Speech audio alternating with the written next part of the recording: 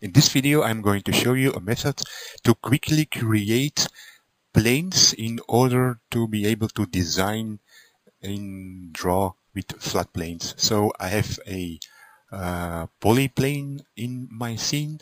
I'm going to subdivide it twice. So that's about the geometry. I could do it a third time. So I have enough geometry. Now I'm going to mask the head. And you don't have to be super precise at this stage because I'm going to create uh, separate pieces for this. So and I'm going to round them off a bit because later on when I'm going to Z-remesh when it's rounded then I will get a better result with Z-remesh I'm going to turn off my line for now. Then I can do my chest. And you don't have to really worry about proportions at this stage. It's just a quick method at getting out the geometry. Now the legs. And again, you don't have to be super precise. It just quickly generating the geometry but I do want them a bit rounded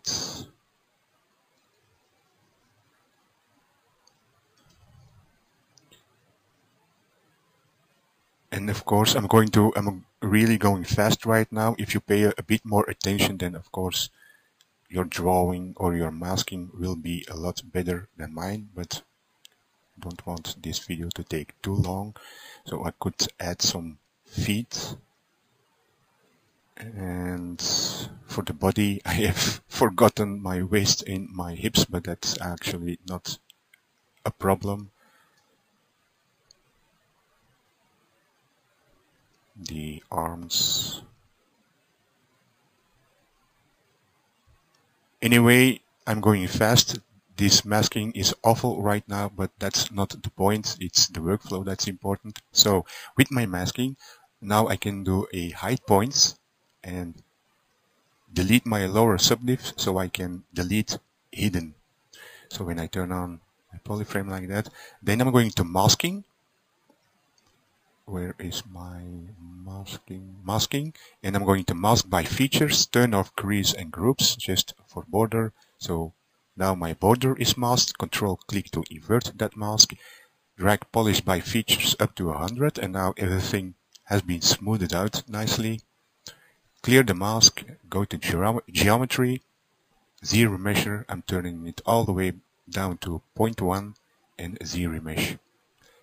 And I get a nice looping everywhere, so that's why I rounded off the masking. So that I have a nice, a nice loop around all the parts. So now I can subdivide once, maybe even twice, but at this stage once is more than enough.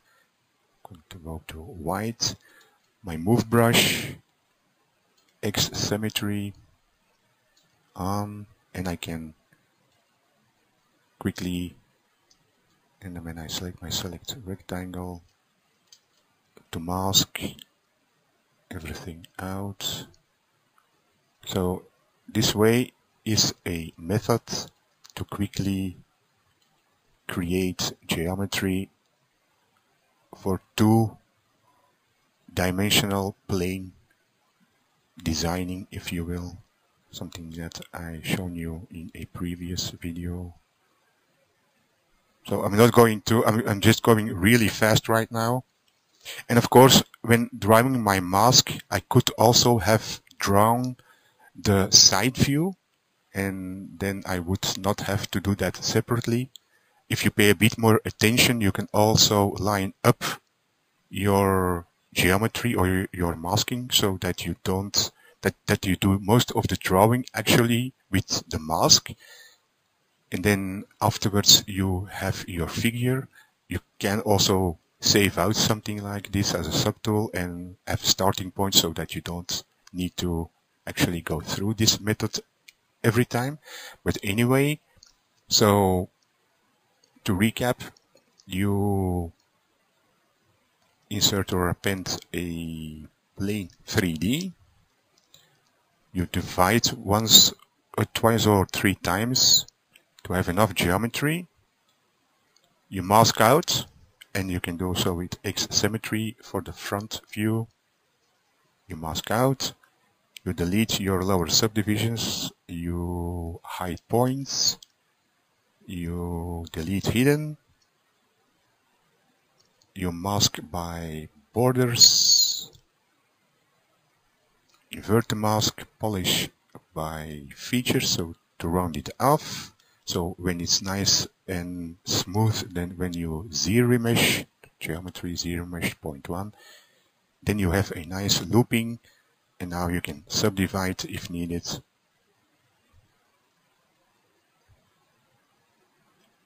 Just like that. So just wanted to share this workflow with you. Hope you found it useful. Bye.